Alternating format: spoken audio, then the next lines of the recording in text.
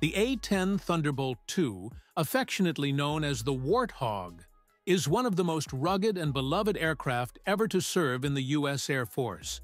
Designed in the early 1970s for one purpose, close air support, the A-10 was built not as a sleek interceptor or high-flying bomber, but as a tough, dependable guardian for troops on the ground. Everything about its design reflects this mission. A wide, straight wing for incredible low-speed control, heavy armor wrapped around the cockpit like a titanium bathtub, and the unmistakable snout of the GAU-8 Avenger cannon, a massive 30mm rotary gun that defines the aircraft's character. When the A-10 entered service in 1976, it brought a new level of precision and survivability to the battlefield.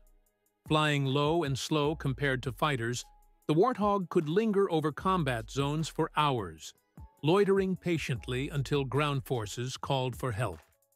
Its pilots loved its forgiving handling and the ability to maneuver tightly, even at low altitude.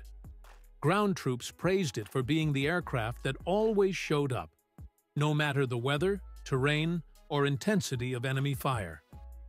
The A-10 became a legend during Operation Desert Storm, where it destroyed over a thousand tanks, armored vehicles, artillery pieces, and supply lines. Its toughness was equally impressive.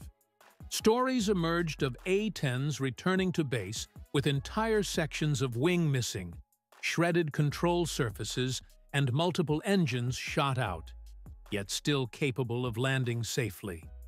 That survivability is no accident. The aircraft was built to take the punishment.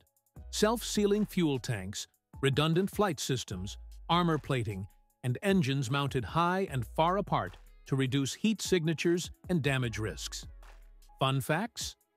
The sound everyone recognizes comes from the GAU-8 Avenger, firing 3,900 rounds per minute. So fast, the human ear blends the shots into a single growl. Despite its chunky appearance, the Warthog can fly comfortably on just one engine and even remain controllable with major hydraulic loss, thanks to its manual reversion backup system. And though designed decades ago, its battlefield reputation is so strong that it remains in service today, with modern upgrades keeping it relevant long into the 21st century. The A-10 Thunderbolt II is more than a ground attack jet. It's a symbol of loyalty, perseverance, and fearlessness. For the men and women it has protected on the battlefield, the Warthog isn't just another aircraft. It's a lifeline, a guardian angel with a roar, and one of the most iconic combat machines ever to grace the sky. Thanks for watching Aviation Wrap, where we unwrap the stories that shape the skies.